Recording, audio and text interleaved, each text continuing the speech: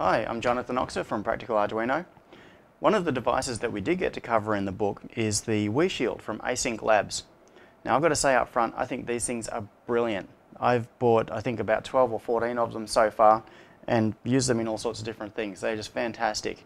So let me count the ways that I adore thee. Um, and they're not perfect. There are a couple of downsides. We'll get to that in just a second. Firstly, the, um, the board itself is quite small, and so it doesn't take up a lot of length. It's, it's been made as short as they could get it, basically, within um, the constraints of the headers. And it's also very low profile. They've been careful to use components that all sit flat against the board, and because it comes with stacking headers, that makes it really convenient to add other things on top of it. So I've used these for things like uh, power meters, where we have an Arduino, then we have the WiShield sitting on top of it, then a prototyping shield sitting on top of that with the data acquisition connections. And these things just work brilliantly. Now they have full, um, full support for WPA2, which is quite surprising really because you don't really think of low-end um, microcontrollers and things like that having good encryption.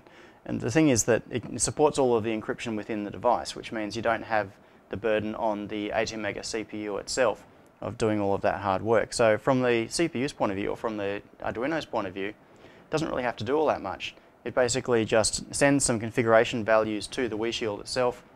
WiShield negotiates with the Wi-Fi network and does all of the encryption, handshaking, all of that sort of thing. And it just works. It's brilliant. So we use this um, around my office actually at Internet Vision Technologies. We have um, WPA encryption on our Wi-Fi network, and I have sensor nodes running with these. I have Arduinos with these plugged in and then data acquisition. And then what I'm doing is running a web client so that it just connects to a web service and sends sensor data uh, up to a server. Fantastic little things. And um, I, I did mention that there were a couple of downsides to it.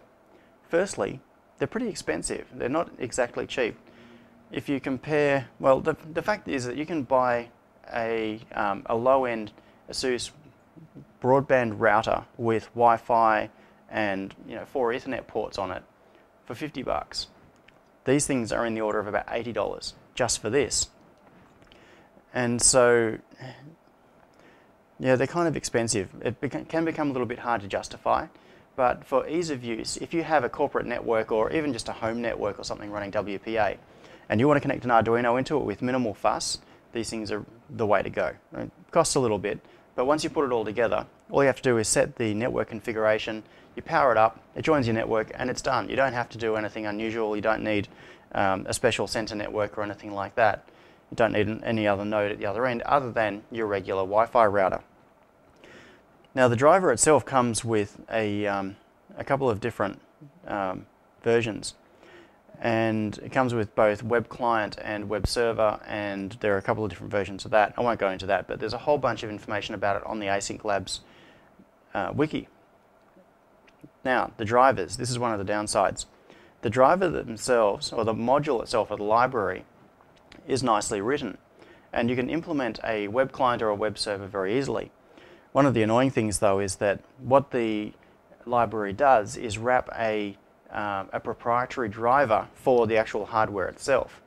And that means that it can't be distributed all as one block because it's not available under a compatible open source license. So when you want to set this up in your IDE, you have to install the WiShield library itself, then you have to go off to the third-party site, download the driver and install it. And so it's a little bit of fiddling around. It's not quite as straightforward as just downloading a, um, a single driver or a, or a library and installing it in your IDE. You have to do a little bit of stuffing around, but it's not too bad. I mean, it, it only takes a couple of minutes, and there are really good instructions on the WiShield website, on the Async Labs website. So all you have to do is basically follow the bouncing ball, put the files where it tells you to put them, and everything should work. It should be good.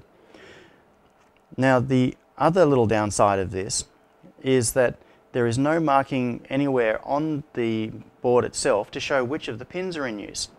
This is one of my bugbears of shield design. Now I should be able to pick up a shield and if I want to add anything else to it, like say put a prototyping shield on top, run some other I.O., just look at it and say, oh yeah, I can't use pins 8, 9, 10, 11 because they've been used by this shield. With this, you can't. You have to go to the manufacturer site, look at the schematic, follow it through, and because the pinouts haven't been brought out to you know nice a nice row down one edge, you can't very easily see which pins are in use. So you have to go trawling through the schematic, trying to figure out which ones have been allocated for the circuit, which ones are free for you to use. So what would be really nice, Async Labs, if you're listening, please, on the next revision, put a little asterisk or something next to the pins that are in use so that all um, a user has to do is look at the board and they know which ones are being used by the WiShield and then they know which ones are free for use in their own projects. If you did that, totally killer product. Very, very nice.